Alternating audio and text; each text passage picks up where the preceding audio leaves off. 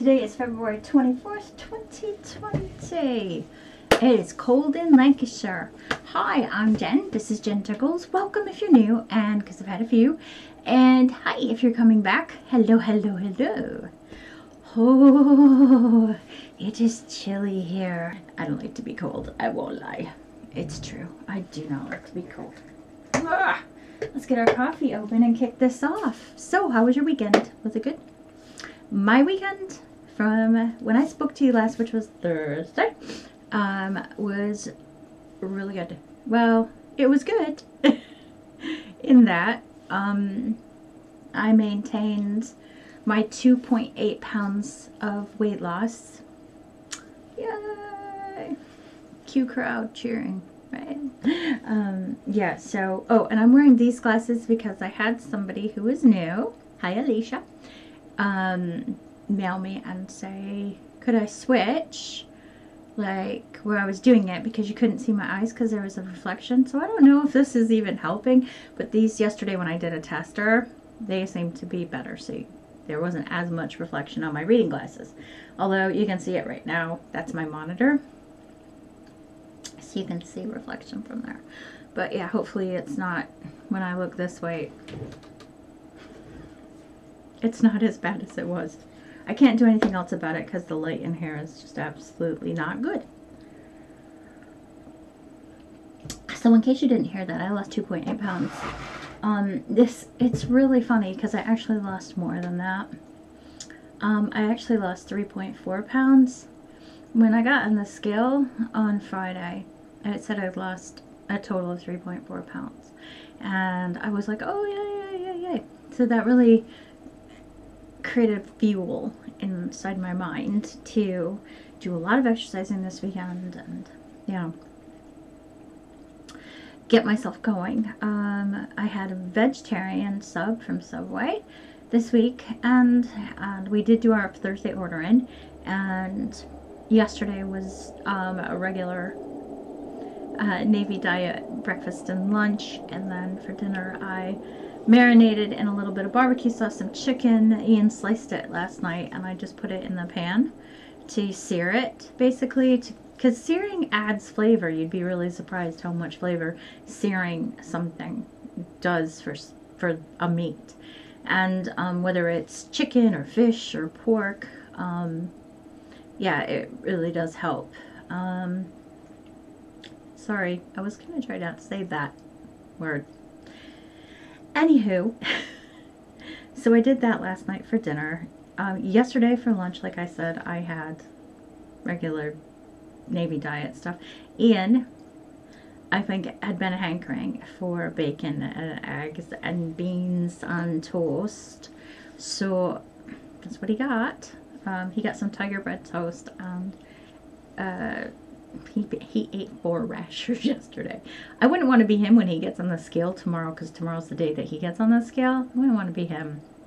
Holy crap, holy. That is a lot of rashers. So I had um had an apple yesterday for a snack. Oh. Yeah. I had a piece of dry toast for breakfast because I just was feeling very out of sorts. The weather, when the weather changes, my head starts to ache, and yeah. Saturday was a very busy day for us. Um, I exercised, and um, I'm finding all of these different types of podcasts to watch. Um, I'm rocking, and I don't know why I'm rocking. Uh, No, if I turn to the corner and start talking to myself, please somebody call 999. Um, anyway, I think that, by the way, is a comfort mechanism because it's cold out and my head really aches. So I'm like trying to comfort myself by rocking. Anyway, uh, where was I? Yeah, so Saturday was a really busy day. We, um, we went over to Pendle Village instead of going up to Boundary Mills. We went to Pendle Village. We got the netting, the sheer netting for the big front window downstairs. So, yeah, so a lot of curtains were made this weekend. Um, and that was pretty much all the sewing that got done this weekend. Now, I, I'm going to bring Hagrid in in a little while because something did get done at Thursday, Friday, except for buttonholes. So I'm going to be showing you that. And there's a little bit of hand sewing on it. But Hagrid is proudly displaying it right now, and I can't wait to show you. Um, so, anyways, we were really busy on Saturday. There was a lot of a lot of exercise, and I was very depressed when I got on the scale on Sunday after I'd done all this exercise and ran around and walked for, I probably walked three miles on Saturday. It felt like it anyway. There were a lot of stairs. And um, it said I gained weight. And I was like in such a huff. Not an angry huff. I was just like to Ian, I was like, how did that happen? Now it looks like I've only lost 1.8 pounds on the week. And then I was, you know, at the same time I'm saying this out loud to Ian, I'm thinking to myself, wow, Jenny, hello. You lost 1.8 pounds this week. What is your problem? Well, because I made so much progress, I kind of built this thing up in my mind. I was so excited to talk to you guys today and say, oh my God, I've lost 3.4 pounds. And I thought, I can't do that now. And I'm so disappointed because I don't want these people who watch me every week to think, holy fuck, woman, up, down, up, down, up, down. But I think one, that's all part of being on a plan. And two, who cares? I had still lost 1.8 pounds. But fortunately, it was a lot of water weight, I think. And I got on the scale this morning and it told me good things. So I'm quite happy with that. I'm making progress. I feel like I'm kind of stuck at this number that I'm at or in the region of. So I really want to, sorry, I've got uh, like a little jagged bit on my nail. It's driving me freaking mad. Um, I really want to get past that number again because, I mean, obviously there was a massive struggle at the one before and I was starting to get really depressed. So anyway, so yeah, I'd really like to get past that. Now, in line with that, there are a couple things. The first thing is when we went into our regular shop yesterday for the week, you know, to get all of our mandarins and our cottage cheese and, you know, everything else we needed. Um, I struggled because it has been in the past seven weeks that, by the way, this is Star week eight. Uh, in the past seven weeks, on a Sunday, we have gone in and gotten ourselves a treat. When we go in and then we have kind of this big deal lunch on Sunday. And um, sort of a one last hurrah before we kick into the three days again. And when I walked in and I looked at that section of Lidl, I went, no, no. You came in for the list that's on your phone, and that is what you're getting.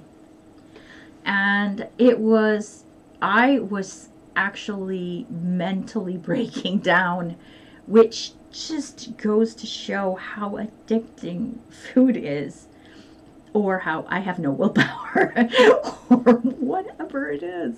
But it's so hard sometimes. So I was in the grocery store.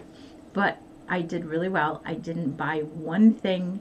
The biggest thing that I bought that I did not put on my list was we've been getting these little bottles of wine. I think it's South African wine which basically have two glasses worth of wine in and we've been having a glass of wine on a Saturday night which is unusual for us because I can go months without even taking a drink but it's just been a nice thing in the winter I think and um, so I bought a bottle of red this time because we always get white because I hate, I hate red wine and I know it's a thing not to warm up or cool down your red wine, but I have to have it cold or I can't drink it. I just can't stomach it. So we got a little two glass bottle of red wine, but that was it. Uh, we did have to get a giant bag of crisps because Ian does have them on Friday, Saturday, Thursday, Friday, Saturday, and Sunday with his lunch normally. And we were nearly out, but we the last bag of crisps we bought was before Christmas.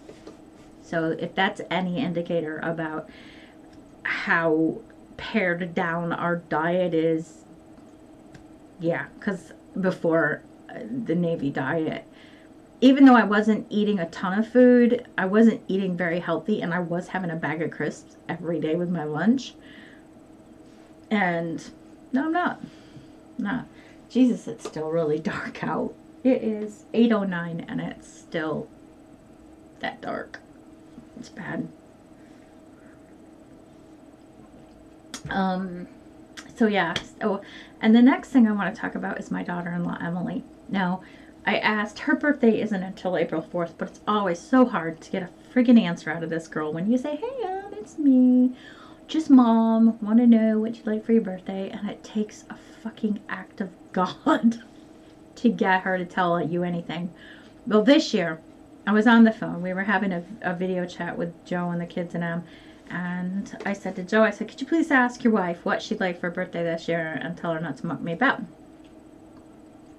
And then she says tea towels. Well, that's a big joke with me because I ask for tea towels every year for Christmas because I go through them. I use tea towels a lot, and which are kitchen towels.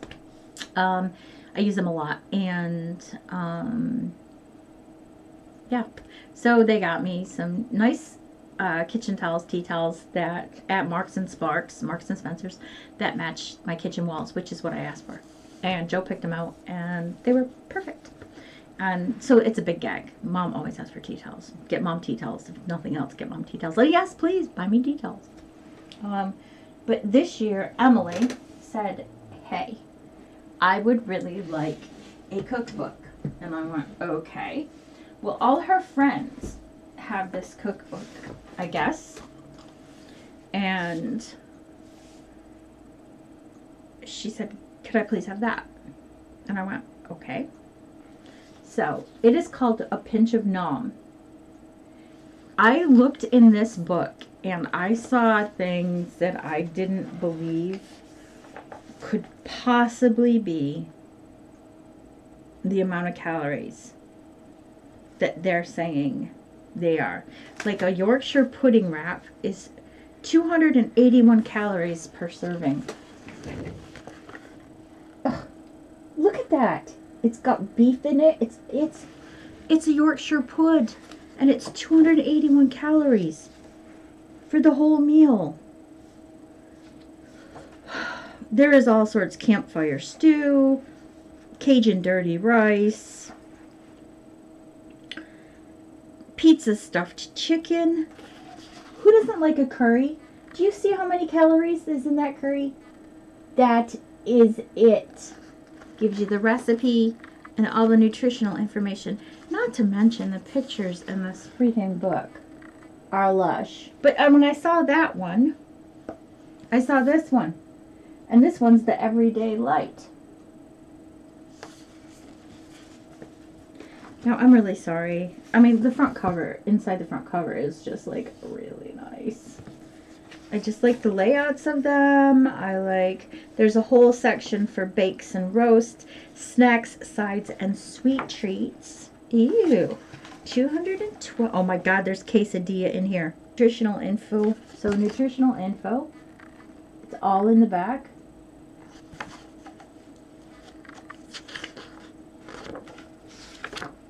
Shows you how to batch cook.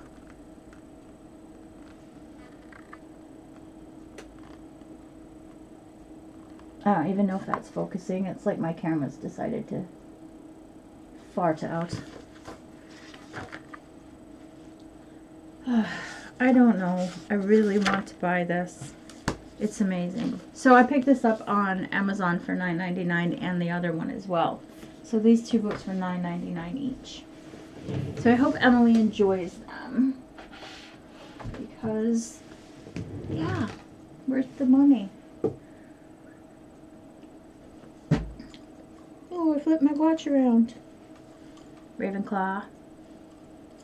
If you are new and you've never seen, it's a watch that keeps time. And Ravenclaw is obviously my house, as you can see behind me and all over the board behind me. Right, so I um right, so the first thing is thank you Helen very much for gifting me some patterns. I really appreciate that. I really want to make that shawl and I really want to make that sweater. I got so much shit on the go right now. Let me know if you're making that shawl. Kim, I'm going to email you because I need some advice about quilting issue that I've got that I'm not sure what I'm supposed to do about. And I need some expert advice, so I shall be contacting you. Um, right, so purchases. I bought a bag and some wool from Helen. Helen, I also need to talk to you. Um, the wool that I bought from you, I'm thinking of getting a bunch of that in DK and asking you, sending it to you and asking you to dye it in those green speckles. Um, because I would really like a sweater out of that with green speckles. So, but if you're not up to it, it's cool. It's cool. Just say, Jenn, I'm tired and I don't want to do it. I'm cool with that. Hi, I'm back. So Hagrid has got on this top from McCall. It's M7470. I made view A, which is right here. I didn't put the pockets on because I didn't like them. But yeah, it's done. Um, the, oh, sorry. The cuffs are on with all of the, I don't know if you can even really see the pleats and the slits and I need to do the buttonholes which I'm really scared about but the sleeves are done I think it came out okay there's a little bit of puckering on the sleeves but screw it I can wear a top over it. I'm gonna have to figure out how to make my sleeves fit better into my pattern as I'm sewing it. And yeah there is some wrinkling on the back sorry about that. But then there's the the pucker pleat here in the middle. It is taken in on the side so there is some shaping and some shaping in the back as well as you can see here and here but yeah. Fits nice over the bottom. And yeah so a little like I said a little bit of trouble with the ease in the shoulders but again there's never really going to be a time in northern Lancashire where I will be wearing this without a sweater. Anyway but yeah. So I am I pleased? I am, except I think the sleeves kind of ruined it for me. So I am, like I said, I am going to have to figure out how to uh, take care of that in future. Whether we make it bigger on the side and use the same sleeve or whatever. But I am going to be taking some notes on a hard copy note and slipping it into the pattern to remind myself. But yeah, it's okay because I've cut that pattern and I didn't cut a pattern from the pattern, I probably won't use that one again anyway because I'm hoping I'll be a lot thinner the next time I make it. But yeah, I'm going to try to get the buttons done this week on it. But it's just buttons, so this will be the last time you see it until I wear it. So anyway, thank you Hagrid. It was very nice of you to show up today, buddy. Old pal. Alright, we'll be right back. Hello, I'm back. My watch keeps flipping. Alright, um, so there was no progress on the cross stitch this weekend and there really wasn't a lot of knitting because basically we were busy doing stuff to the house together and some really good stuff actually and I feel really happy about it like I talked about before plus there were some lighting fixtures exchanged and just, you know, general housey stuff, but I won't bore you with that. Oh, and the new fencing is going up. That was a job and a half. Won't talk about that because there was a bit of an argument outside. yeah, just not talking about it. This is me not talking about it. so anyway, let's put a picture up here of the infamous uh, goldfish memory shawl. That's it and I did get a little bit more of the uh, uh, lace section done. Not a ton. I'm only about one fourth of the way. Sorry, I've got tangled yarn here. Uh, I'm about one fourth of the way through. Sorry, my ear. The uh, this this section. So I need to work harder at it. I just didn't really want to do it this weekend. So there you go. It's a little a little bit easier to see it now. Um, but yeah, um, and that'll all block out. It'll look good. But this thing is going to be so massive. Just, it's going to just be huge. I need to get my glue gun out make some stoppers for the bottom of my needles. But yeah, so this is what it is so far. This is it. There you go. That's the end. anyway, I really do like it. It is a nice project to work on because I know I'm going to love the finished object. But yeah. I'm just not looking forward to all of this stockinette I have to do for this. bored the moves off me. Really did. So that's that. And then I did get a little bit more done on the Hilda ends. Um, I think I showed you guys this last week, but this is the first one. This is in uh, Sprite 966 Creations uh, DK weight, which is a merino nylon mix. It is lush and it's called Olive U. And it is really nice. It's just, oh my god. Oh, it's nice. Anyway, so I did get a little bit farther. I did make a mistake and I had to uh, uh, tear back five rows, four rows, I can't remember, because I put the thumb in the same position that I put it in on this mitten, and obviously it needs to be on the opposite side, so yeah. So any hoot, this is what I've got done so far. This is so quick. I don't know why I just don't have it done already. But uh, you can see the increase, decrease, or the increase for the thumb gusset there. If I hold it back, you can kind of see it better. Like, oops, sorry, right here. Um, I don't think I pulled my stitches taut enough. Hopefully it will um, block out. But yeah, there's not that much farther to go before I can put some, um, the stitches on some waste yarn. And then, oops, it's all right. And then that will be ready to go. Um, yeah, so that's pretty much it. I got the kimono, uh, yeah, I'll show it to you on Thursday. I got that kimono all cut out. I just have to put the markings on the pieces and that will be all done. My main objective this morning is to get my ironing done because I have like seven shirts to iron and get that done. Um, my objective this afternoon is to read how to use the new buttonholer on this machine because it's different to my other machine. And yeah, so that should be fun. but other than that, yeah, I'm going to get that kimono mark because I am so keen to have that. The one thing I did notice and didn't notice, as it were,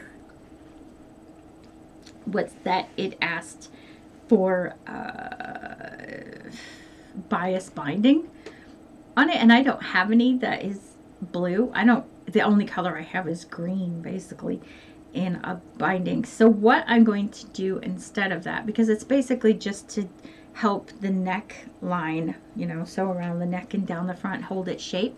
So I'm going to replace the binding with some very lightweight interfacing cut at the same width. And that way I can just fold it over and it will do the same thing. And frankly, it'll probably be easier to do that. So what I'm going to do is I'm going to take the, the lightweight interfacing. I don't know. If you give me a second, I will grab it. So there's interfacing. Interfacing, if you don't sew, has different weights. There's some heavier interfacing, which is more for like if you're making a project bag. Um, and you don't want to put the fleeced uh, fusible interfacing in. Um, and that keeps makes it keep the stiffness, the fabric retains a stiffness or gains a stiffness as it were. But this is a very light um, fusible interfacing. And by fusible, I mean there's like a, glue. If you can see the little shine, you see the shine on it? So on this side, there ain't no shine. But on this side, there is. And that's like a tacky glue that actually, this adhesive um, attaches itself to the fabric when you iron over it. So what I'm going to do is I'm going to cut that. Um, as much of a continuous piece as I can in one go and place that a quarter inch in on each side of, you know, on the, the neck area. I'm not explaining this very well, right? And then I'm going to fuse that. Then I'm going to fold over the quarter inch and fold it over again. So we're basically going to have a quarter inch and a 3 8 inch um, fold over and uh, that will give us our our stability here on the front. I'll show you how I did it. I might take some video so y'all can see. But this has gone on for so long that I this is the longest one I think I've ever done. So I'm really sorry about that. The video, I mean. Um, at least I just jumped from one thing to another, didn't I? That's me. That's what I do.